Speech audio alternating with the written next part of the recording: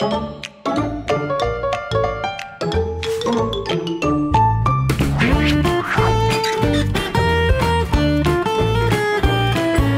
pretended to break up with my girlfriend for April Fool's, and she told me that she's been cheating on me anyway. I played a prank on a guy I liked to try to get him to notice me, but he filed a police report instead.